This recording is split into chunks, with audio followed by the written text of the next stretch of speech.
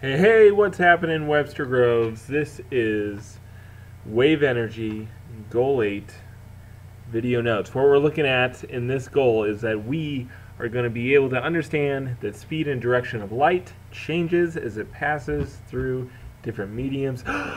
mediums, we know that word. Oh, I hope you remember it. But this time we're talking about lenses.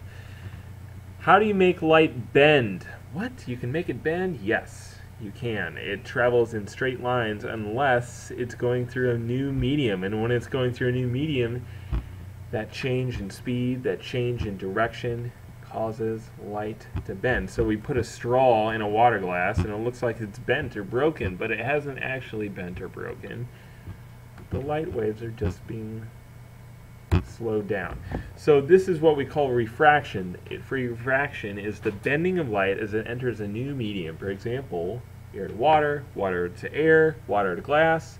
What is a medium? Well, I hope you remember what a medium is. It is a material through which a wave travels. The classic example of this is the broken pencil. So you put the pencil in water and it looks like it got bigger, but it didn't really get bigger. Or you move it to the side and it looks like it's way over to the side, but it didn't really do that. So what is happening? It is it's called an image when we see something that may not actually be there. And this happens when light changes its speed. It changes what we're seeing. It's called refraction. Light is being bent. So, Bill Nye, here to tell us a little bit about light bending and bouncing.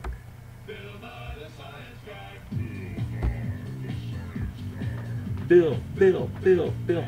Oh, sorry.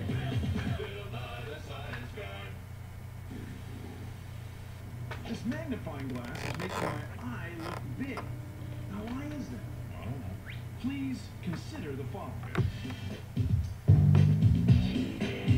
When light enters something like air, water, glass, or plastic, it slows down a little. And when it slows down, it changes direction. See how one eye is lower than the other? See? Take a look at this. Here are three straight beams of light. When they go into the piece of plastic straight, they come out straight. But if the plastic is tilted, the beams of light get tilted. See, they change direction so they come out this side offset. Now, what would happen if the piece of plastic didn't have straight sides, but had a curved side, like a magnifying glass? Well, the light would change direction, right? Mm-hmm. Because the surface of the plastic is curved, each beam of light enters the piece of plastic at a slightly different angle, and it changes direction a slightly different amount. Mm. Look, over here the beams of light come together at a single point. This is called the focal point. Now what about the magnifying glass? Well, suppose your eye were over here, and light from the room were bouncing off of your eye and going through the piece of plastic this way. Well then, the small area at this end would be spread out over a large area on this side. Your eye would be magnified. Thanks for joining me on Consider the Following.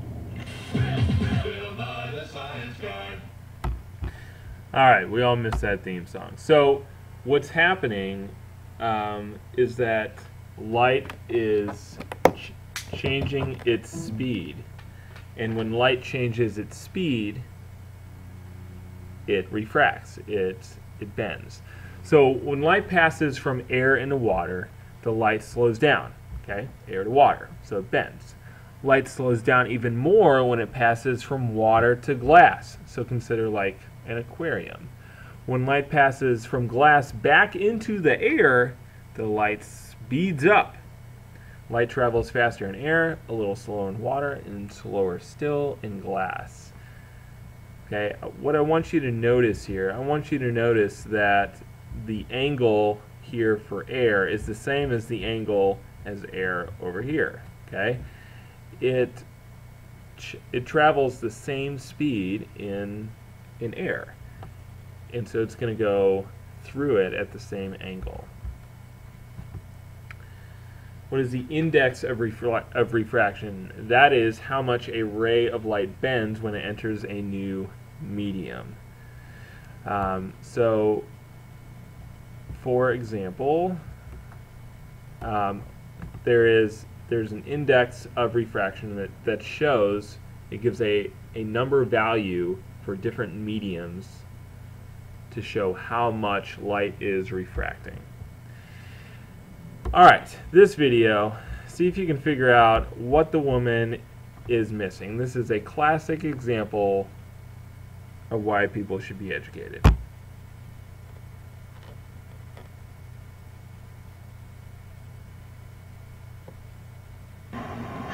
Is July 6, 2007, about 4.30 p.m.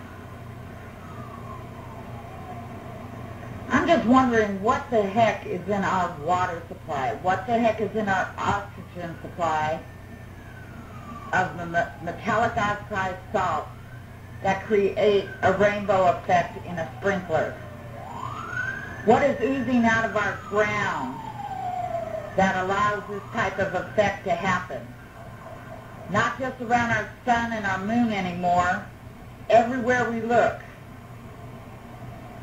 the visible spectrum is rainbows. This cannot be natural. Well, I've got news for you, lady. It kind of is natural. Um, and let's look at why. Okay? So, what is white light? White light, we know, is all of the colors of the visible light spectrum red, orange, yellow, green, blue, indigo, and violet. We call this Roy G. Biv.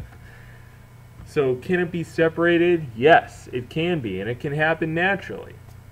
Sometimes we can see white light separated by prisms into its various wavelengths and frequencies. How does a rainbow occur though? Anytime that white light from the sun enters a raindrop or a drop of water from, say, a sprinkler perhaps, the raindrop acts as a prism to separate the, the light. This display, this is, displays the visible light spectrum. Okay, so this can happen really with any water because water acts as a, a prism in this case. It bends the light. Colors refracted are different amounts. So we notice that red is ref refracted the least and violet is refracted the most. That's because red has the longest wavelength, is reflected, refracted the least. Violet has the shortest wavelength. Okay? This difference in refraction causes white light to spread out into the colors of the visible spectrum, red, orange, yellow, green, blue, indigo, and violet. What is a lens? A lens is a curved piece of glass or other transparent material that is used to refract or bend light. We see lenses commonly in cameras. The type of image formed through a lens, the type of image formed by a lens depends on the shape and the lens and the position of the object. So there are lots of things that will determine what something looks like when it is being shown through a lens.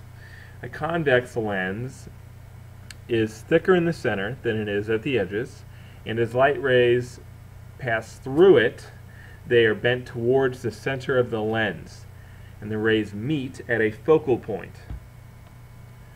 This is where the image can then flip upside down. So great picture here of what is happening to the light. We can't always see the light rays, but they go through this glass or this plastic lens and they bend inwards and they cross at a focal point. Okay, actual photograph here of what that would look like. Light rays bending through that lens and crossing at the focal point. Um, so difference between a real image and a virtual image. If the object is further away from the lens than the focal point, it is a real image. The real image is formed. However, if the object is in front of the focal point, it looks closer than it actually is. It's not a real image, it's a virtual image. Um, that's why things look bigger in, say, like magnifying glasses. It's not the real thing going on. It's a virtual image. An object's position relative to the focal point determines whether a convex lens forms a real image or a virtual image. Concave lenses, on the other hand, are thinner in the center than they are at the edges. When light rays traveling parallel to the axis pass through a concave lens, they bend away from the optical axis and they never meet. Remember, concave, cave in. A concave lens can produce only virtual images because parallel light rays passing through the lens never actually meet. So the light rays go out in a concave lens. Here's what that might look like if we could see the light rays going through. They go in and bend out. Compare refraction of light through different materials. Um, that is our goal and that is what I'm hoping you got out of this video. Please come to class with questions about refraction, about how light is bent, and we will see you next time. Later.